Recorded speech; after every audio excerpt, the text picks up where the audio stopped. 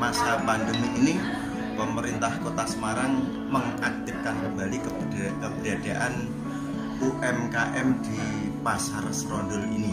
Nah, eh, kita harapkan dengan dibukanya kembali Pasar Serondol ini menjadi awal kebangkitan UMKM Kota Semarang.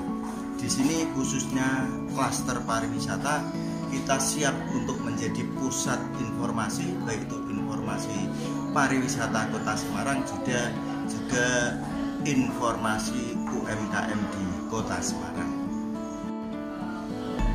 Jadi di Semarang ini ada 55 Pok Darwis yang terdaftar dan mendapatkan SK Dinas Pariwisata Kota Semarang. Kita harapkan eh, 55 Pok Darwis di Kota Semarang ini ikut aktif bersama untuk eh, aktif mempromosikan dan bersama-sama mengembangkan pariwisata di Kota Semarang. Pok Darwis, Pok Darwis di Kota Semarang punya potensi yang luar biasa, punya eh, apa yang dimiliki dari masing-masing lokal itu luar biasa dan banyak keunikan. Kalau kita tampilkan di sini di pasar UMKM Pasar Serondol Kota Semarang ini akan luar biasa. Jadi ada potensi-potensi, ada mungkin paling tidak kita promosi lewat banner, promosi lewat brosur, promosi lewat produk-produk yang kita tampilkan eh, di pasar UMKM Pasar Serondol ini akan menjadikan kota Semarang terutama Pok Darwe di kota Semarang akan terkenal. Awalnya pasar Serondol ini ditempati oleh 10 klaster di kota Semarang. Tetapi dalam perkembangannya selain klaster juga yang di atas diisi UMKM UMKM yang ada di kota Semarang. Kita harapkan klaster pariwisata ini menjadi pusat informasi baik itu informasi khususnya pariwisata kota Semarang juga pusat informasi UMKM UMKM ataupun klaster-klaster yang ada di UMKM Pasar Serondol. Ada 10 klaster di Kota Semarang.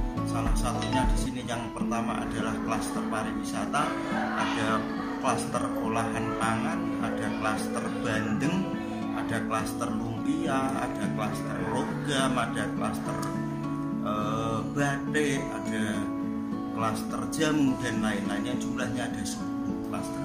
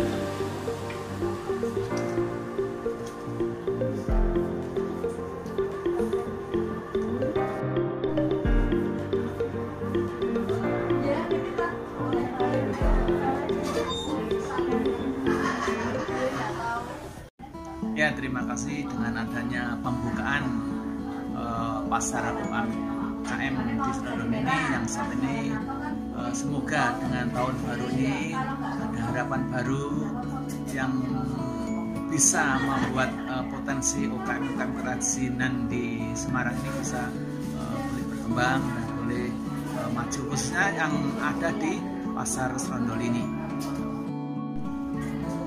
Untuk klaster batik itu anggotanya ada 30 orang. Dan dari 30 itu yang aktif sekitar 25 dalam arti e, mereka aktif dalam mengikuti pameran, aktivitas dan juga seminar-seminar yang ada di kegiatan di klaster batik ini. Kemudian untuk motif di Semarang sekarang beragam Pak. Jadi ada e, lawang sewu, wara, ada asem-asem, sekarang ada bandeng, ada wihara. Jadi semua ikon-ikon yang ada di Semarang itu bisa dimanfaatkan untuk motif uh, di Semarang. Kadang pete, uh, peterongan itu ada bisa digunakan motif batik. Jadi banyak ragamnya sekarang.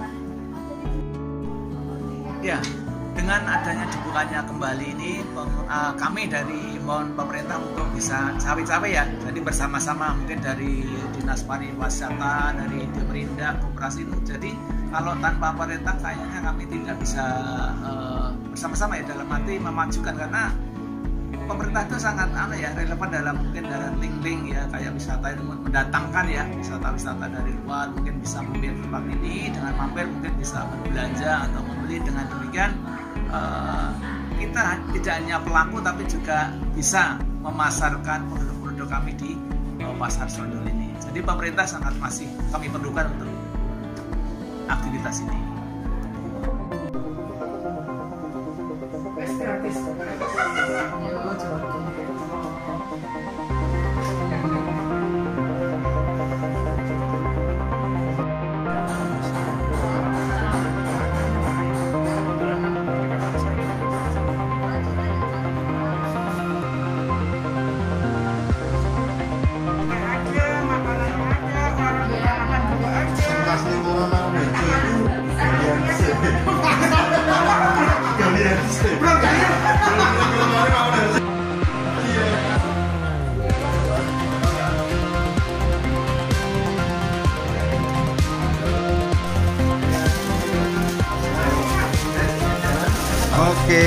Sini Bapak. Ayo, mantap, mantap, mantap. Walah ketok kabeh.